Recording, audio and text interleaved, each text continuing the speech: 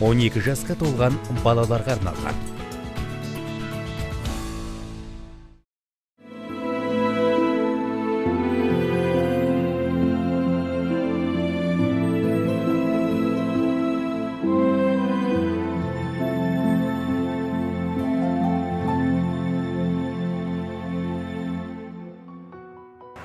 Саналы ұл үшін жетелі қыз үшін оның әкесі оның идеалы яғни ең сыйлайтын асқаралы асқар тауы болуы тиіс.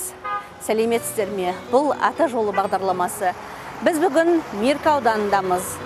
Біздің кейіпкеріміз қазақстан республикасының спорт қайраткері меркі ауданының құрметті азаматы құдайберген жантаев және оның ұлы ринат жантаевтар отбасы.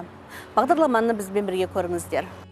Құдайберген жантаев ата анасынан ерте айырылса да өзінің таудай талабы тасқа жанар жігерінің арқасында жоғары білім алып қатарының алды болды. Одан кейінгі уақыттарда да бар білімін аямай жас спортшыларды дайындауға оқытуға барын салған жан. Интернатта болған кезімізде кішкене спортқа жақын болдым. Оның үстіне жастайымнан жетім қалдым да еңбекке өзімді үйрете бастадым шешемнің тәрбиесі болды содан кейін үлкен атамыз болды күнде келіп біздің жағдайымызды біліп тұратын ырзақбай төкебаев деген атамыз ол кісі үлкен кісілермен араласқан кісі шежірелі кісі болатын асанбай ағасы әкемнің ағасы ол кісінің шежірелігі байлығы соншалықты асанбай асқаров обком секретарь болып тұрған кезде меркеге келген кезде үмбетов оспан деген колхоздың бастығы бар сол кісіге атамды әтей алғыза деген шежіресін әңгімесін тыңдаймыз деп. Ол кісі простой әшей жай колхоз болғанмен бірақ шежірелі көпті көрген кісі болатын. Ел әңгімені жақсы айтады ел сыйлайтын ел тыңдайтын кісі болған. Сол кісі маған айтатын балам елдің ала жөнін аттамай жақсы жүр. Сол кісінің несі ұлағат сөзі мен осы күнге дейін есімде. Мен біреудің ала жібін аттап қалған адам емеспін. Оны енді жұмыс базарында ел көрді. Оның арқасында сол оқуды оқып жүргенде институтқа түстім.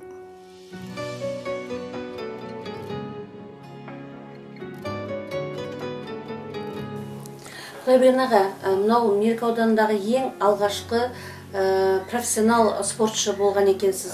Сол спортты таңдауыңызға спортқа келуіңізге кім себепші болды? Интернатқа келген кезімде интернатта неше түрлі азаматтар болды.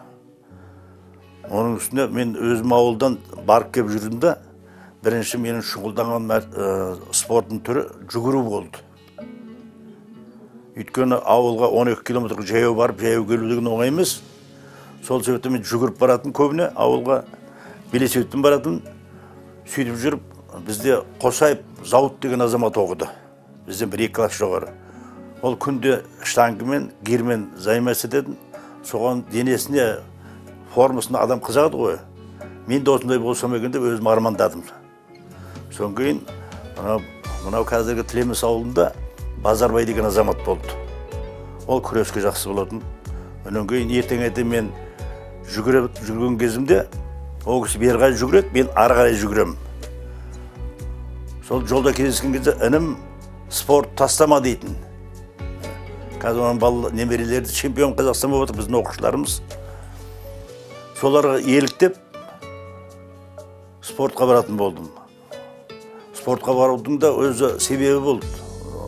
Институтқа барудың да ол кезде елдің оқат танайтыны селхоз институт завет институт болатын. Өйткені келешекте басшы болсам деген оймен. Менде ондай ой болған жоқ. Бір жолдастарым арқасында әй неғып жүрсің? Сен спортқа жақсы едің ғой онда бармайсың ба? деді солардың итермелеуімен бардым. Әйтпесе мен жетім бала институтқа да бармайтын едім былай қарағанда. Солармен нәсіп болып институтқа түстім. Мен бір жылдың ішінде молодежный қазақстан құрамасына мүше болдым бір жылдың ішінде. Содан өзім ойладым мен ол кезде мен жүгіретінмін. Жүгіру көрсеткішім жақсы болды. Институтта да жақсы сүйектеріміз ілініп тұрды. Содан өзім ойладым мен ауылға барғанда не бітірдің дегенде жүгірудің оқуын бітірдің бе? деген намыс болатын болды содан ойладым мен оны қояйын да мен күреске барайын деп. Содан күреске бардым.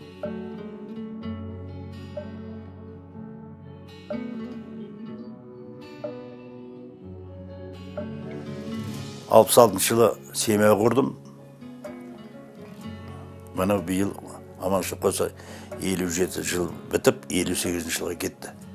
Отбасын құрғанымызға мен алпыс жеті алпыс сегізінші жылдары осы жолдасым. Үйде болып менің оқуды бітіруіме көмегін берген осы жолдасым арқасы. Жолдасым аты баян осы баянның арқасы. Құдай тоба дейміз. Одан баян екеуміздің ортамызда бес баламыз бар. Жеті сегіз шөбереміз бар. он үш немереміз бар. Немереміздің алды қазір жиырма сегіз жиырма тоғызға келді. Жаңағы ұлымнан тараған баланың үлкені органда істейді. Капитан ішкі істер бөлімінде тергеуші капитан болып істейді. Одан кейін баламның несі қызы баламнан кейін ринаттан кейінгі гүлжан деген қызым ол шымкентте тұрады. Бас бухгалтер болып жұмыс істейді. Одан үш немерем бар одан үш шөберем бар. Сол екінші немерем менің жолымды қуып төлтай абылай әділханұлы халықаралық дәрежедегі спорт шебері. Міне бүгін ғана франциядан келе жатыр. Францияда үшінші орын алды. Халықаралық дәрежедегі спорт шебері. Аманшылық болса оны да деп отырмыз. Барып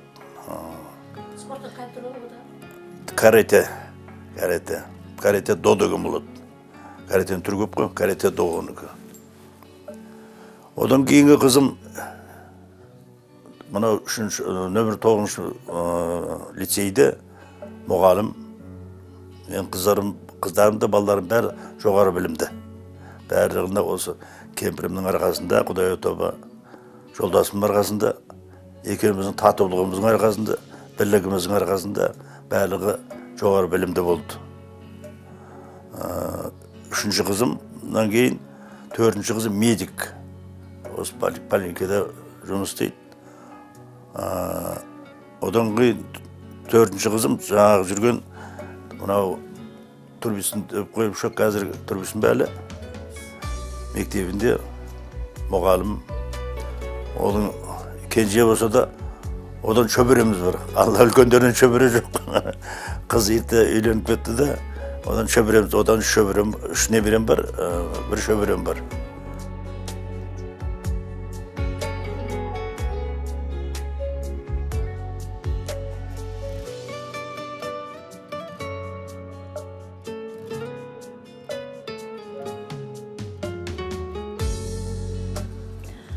енді балдарға деген әкенің қамқорлығы керек қой ана қанша қамқор болғанмен де әкенің аты әке. Әкесінің қамқорлығының арқасында осы балдардың бәрі осындай жетістіктерге жетіп жатыр. Әкесінің жолын қуып мінекей мұғалім де болып жатыр. Жаңағы айтқандай спортсмен де болып жатыр. Мен қанша тәрбиелегенмен де әкенің тәрбиесі басқаша болады. Әкенің аты әке. Екеуміз енді екі жақтап осы бес баланы тәрбиеледік. Өсірдік оқыттық. Енді құда қаласа міне немереден шөбере көріп отырмыз. Енді елу алты алпыс жылға таяу уақыт өтіп өмір сүріп жатыр екенсіздер ол кісінің бойындағы қандай қасиетті сіз аса бағалайсыз енді ол кісінің бойында қасиеті көп оны айта берсек енді. Маған деген махаббаты балдарға деген махаббаты ағайынға деген туысқанға деген барлық қасиеті көп. Жақсы қасиеттері бар қай балаңыз көбірек ұқсайды әкесіне әкесіне ма ринат ұқсайды нұргелді деген баламыз ұқсайды еркебұлан деген балам бар алматыда ол өте ұқсайды ең алғаш келін болып келгенде жаңа айттық қой алпыс алтыншы жылы бесінші сентябрьде келдім ата енем ұмытпаймын ата енем болды жаңа атамыз болды апаларымыз болды мен келгенде сол кісілердің қолына түстім жақсы барлығы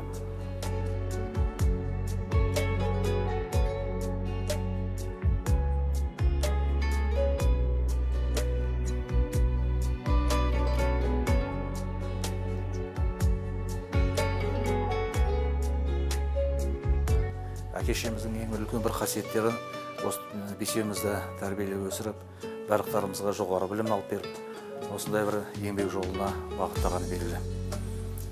Мен әкемді мақтамаймын. Мен әкеме мақтанамын. Ол кісінің жүріп өткен еңбек жолы өте бір сондай қиын қыстау кездердегі әсіресе мынау ә, мамандық таңдаған кезде ол кісі ана физкультура мамандығын таңдаған ол кезде қазақ жігіттері көбінесе физ- физкультура институтарына бармайтын әсіресе ауыл шаруашылығы құрылыс деген сияқты салаға барған. Соның биік шыңына жетті ол кісі. Ол кісі 42 жыл бойы сол спорт мектебін басқарып бірнеше чемпиондар шығарып солардың мына қазақстан республикасының ә, көк туын желбіретуге өз үлесін қосты бұл кісі. Қазіргі кезде ә, олимпиада болып жатқан кезде чемпионат болып жатқан кезде ол кісі қазақстан туы ә, желбіреп тұрса өзі бір сондай бір қуанып сондай болып тұрады. Әсіресе мына өзімнің балаларым бар содан кейін мына жиендер бар. Олар да олимпиадада қазақ туы. Мен өзім балаларым кішкентай кезінде білемін ә, телевизордың алдына тұрғызып қоятын жаңағы әнұран ойнаған кезде жаңағы кеудесіне қолын қойып.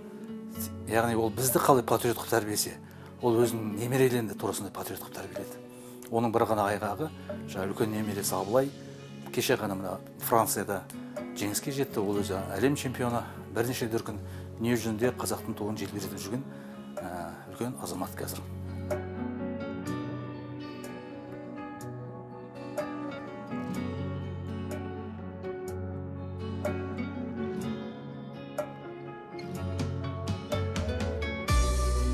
ұстаздық еткен жалықпас үйретуден балаға демекші.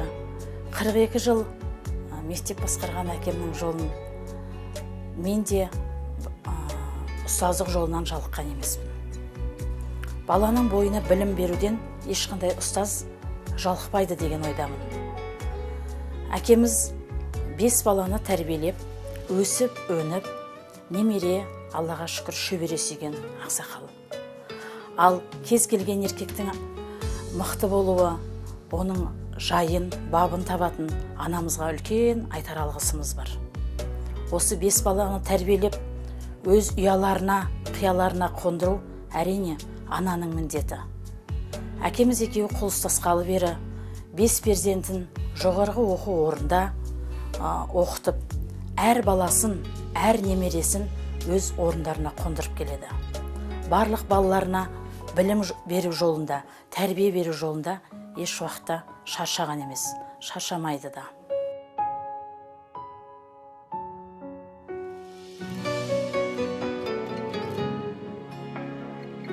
Анамыз екеуінің мына шаңырақ көтергеніне де мына елу жеті жыл уақыт өтті.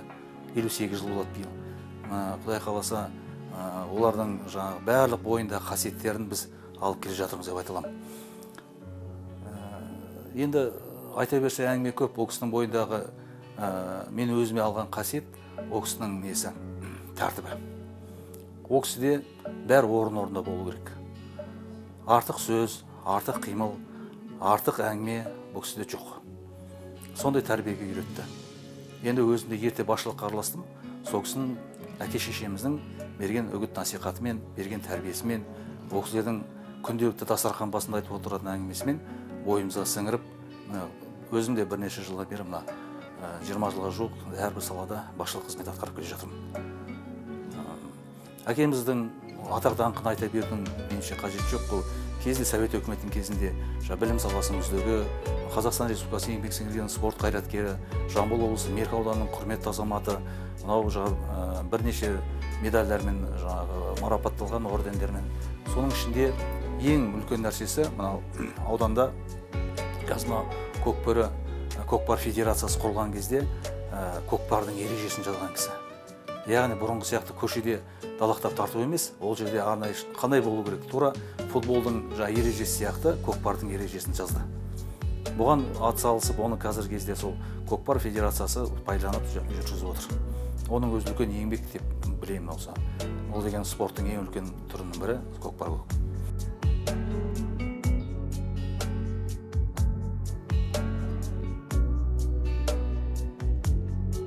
әкем туралы айтатын болсам әкем өзінің әкесіне қарап өскен ұл ғой. Менің атам үлкен қызметтерде орын отырған. Үлкен үлкен басшы лауазымдарда отырған кісі көпті көрген кісі. Соған қарап менің әкем өскен кісі. Ол әкем де үлкен лауазымдарды атқарған ә, үлкен қызметтерді жасаған. Сол әкемізге қарап біз өсіп келе жатырмыз. Яғни одан әкемнің ұрпағы біз болғандықтан әкемнің әкесі үлкен лауазымда жұмыс жасап жақсы қызмет атқарғаннан кейін әкем де сондай абыройлы азаматтардың бірі болғаннан кейін әкемді айта берсең ол үлкен бір тарих қой. Әкемнің қызметі әкемнің жұмысы өзінің еңбексүйгіштігі отбасына деген көңілі жұмысына деген уақытын қалай арнау керек екенін бәрін біледі. Соған қарап біз өсіп келе жатырмыз. Құдайға мыңда бір шүкір әкеміз өте сабырлы кісі. Ойын ашық айта алады. Үлкен жиындарда жиналыстарда ел ағасы болып та сөйлеген күндері де болған. Оның бәрін біз көріп өстік. Барған жерімізде кімнің баласы десе «Ә, ринаттың баласы о рекең ба рекең ба деп біз марқайып қаламыз ондай сөзден әкең туралы барлық жерде жақсы айтқан ол бізге де жақсы.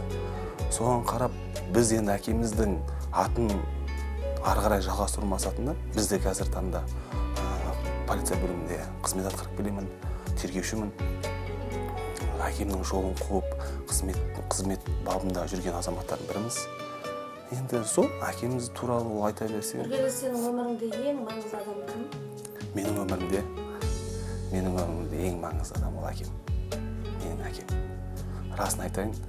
Ә, көп жерде айтады ғой ә, туған кім сенің немесе ә, кімге сүйенесің менің әкемнің көр, істегенін көріп мен әкемнен басқа ұлы тұлғаларды көре алмайды екенмін менің әкем ол менің тұлғам деп айтсам да аузым толтырып айтсам да ол артық етпейтін нәрсе деп ойлаймын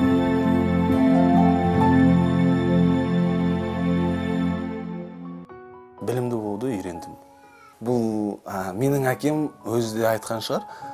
Ә, өнер жағы өте керемет ол кісі. Домбырада гитарада пианино. Біз бала кезімізде сол кісінің домбырасымен сол кісінің күйімен өстік. Ә, күніге кеше жақын. Ол кезде мектеп оқимыз. Ол жерге отырғызып алады. Үш баланы. Ол кезде қарындасымыз кішкентай. Үш баламызды отырғызып алады да үшеумізге өлең айтады. Домбырамен гитарамен. Ол бізде күніге сондай. Күніге кешке сабақ оқып бітеміз. Аха сабақ оқып бітеміз. Болды. Анамыз бізді жібереді әкемізге келеміз әкеміз біздің миымызды демалтады өлеңмен күймен өлеңмен. Енді ондай өнер біздің бойымызға дарымады алайда. Бірақ әкемнің ә, білімі білімін көріп ол маған бізге қойған мақсаты білімді болыңдар. Білімді болсаңдар алатын биік асуларың биік болады. Біз барлығымыз ә, әкемнің артынан келетін ұрпақтар бәріміз білімге қарадық. Білім жолын қуаладық біліммен кеттік. Қазір таңда білімің болмаса сен ә, ешкім емессің деп ойлаймын. Сол себепті білім әкемнің алғашқы бізге қойған мақсаты білімді болыңдар сыйлы болыңдар. Біз сол білім жағымен өзімізді көрсеттік аллаға шүкір. Соның қазір соның жемісін көріп жатырмыз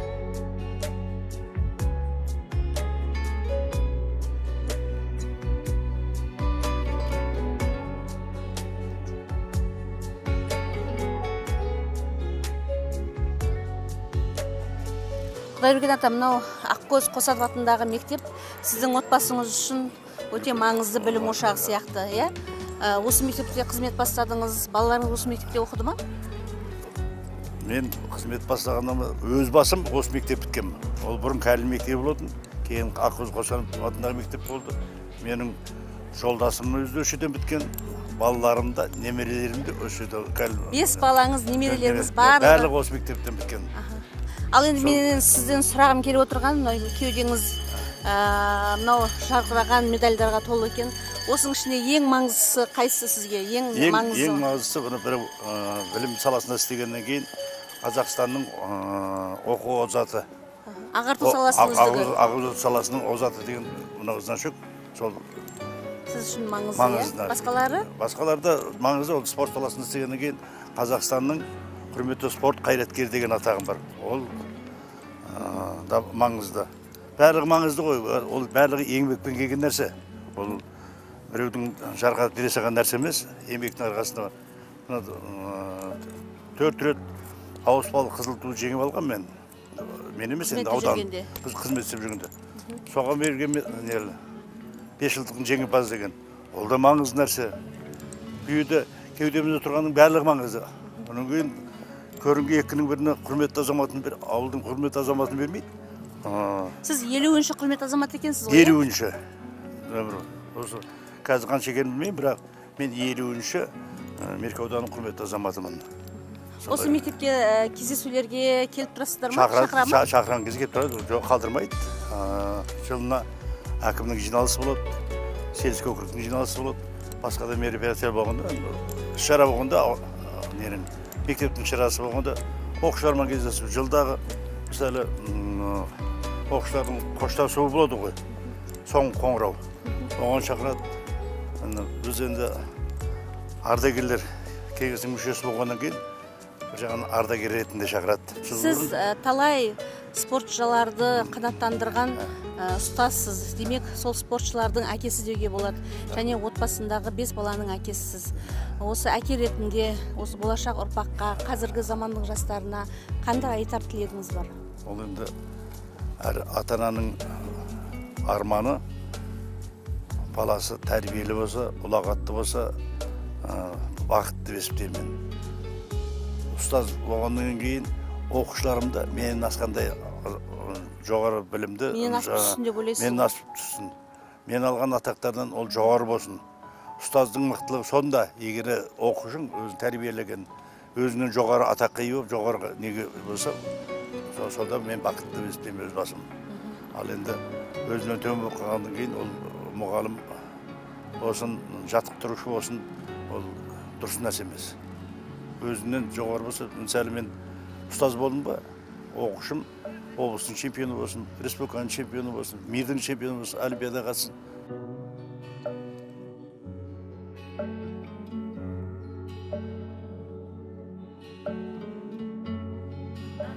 иә мен өзім де мына он жылға жуық колледждің директоры болып жұмыс істедім. Әсіресе балаларменен ол жерде студенттер ол жерде де ә, ата аналар кеңесі бар жұмыстар жасайды.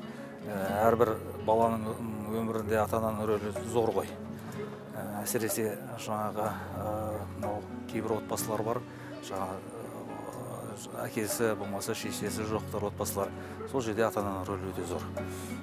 Енді әрбір отбасында жақсы тәрбие алушында ол жаңағы мына мектептің білім беру ұйымдарының рөлі өте зор. Ол жалғыз ғана әкімдік болмаса басқа да бір қамқоршылық кеңестері ғана емес осы мектепте жүрген кезде баланың алатын тәрбиесі ол өте бір өзінің бойына алатын тәрбиелік мәні зор. Әрине қамқоршылық кеңестерін дамыту үшін олардың балалардың өміріне бір жақсылық жасау үшін ауылдан шыққан осындай жаңағы белгілі беделді осы өзі өмірден орын тапқан отбасыларды осындай паш етіп оларды көрсете білу әрбір баланың санасына бір жақсылық ұялатады. Себебі деген әрбір бала өзі бір интеллект қой. Әрбір бала индивид. Олардың өзі дамыған кезде алдына бір мақсат қояды. Алдына бір, бір адамды өзіне бір тұтады. Сол кезде сондай сондай болса екен деген сияқты жұмыстар жүргізеді. Әрине бұл жалғыз ғана отбасы ғана емес мектептің де білім беру ұйымдарының да бәрінің бір керемет осындай бір ұйымдастырудың арқасында болады. Әкелік кеңестердің жұмыстары әрине ол жерде қазіргі кезде балалардың психологиясына сәйкес бұрынғы сияқты емес қазір әрбір баланың психологиясы ерекше. Бір, бір үйде туған балалардың өзінде әрқайсысының мінезі әртүрлі болып келеді сол себептен ә, жаңа әкелер кеңесі дегеніміз ол жұмысы әрине өте қажетті қазір мына заманда мынау интернеттің дамыған заманы қазіргі кезде балалардың әлеуметтік желіден неше түрлі ә, көріп жатқаннан кейін олардың жаңағы да өзгереді. Сол себептен қазір әкелер кеңесі міндетті түрде ол қажет. Қазір қа- олардың рөлі өте зор ол жерде бірақ ол сол ә, әкелер кеңесіне болатын азаматтардың сапасы да сол балаларға ақыл айтатындай балаларға үлгі көрсететіндей балалардың жаңағы кругозорын жаңағы ой, ойын қалыптастыратындай болуы қажет.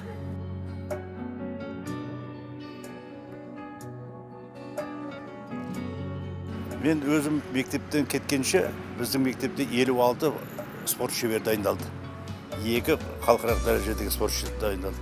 Енді қазір осы күнде ә, менің жолымды қуып жаңағы немерем қызы жиен балам ғой енді қазақ дүниежүзінің чемпионы болды міне бүгін мына жаңа сіздерге көрсеттім парижден келе жатыр үшінші орын алды парижде дүниежүзілік біріншілікте осыдан бір жарым ай бұрын японияда болған ол жақта екінші орын алып келді құдай табар қазір оның барлығы сіздің жемісіңіз жеңісіңіз жең- солай деп ойлаймын жеңісім бұдан ары қарай да сізге жемісті жеңісті ғұмыр тілейміз рахмет сұхбатыңыз үшін рахмет рахмет құрметті телекөрермендер жердің көркі болған меркі жеріндегі ата жол бағдарламасы осымен аяқталды. Біздің кейіпкеріміздің басты ерекшелігі меркі жеріндегі ең бірінші жоғарғы білімді спортшы болған. Осы кісідей асқаралы алатаудай әкелеріміз аман болсын спортшыларымыз жеңістің туын желбірете берсін аман сау болыңыздар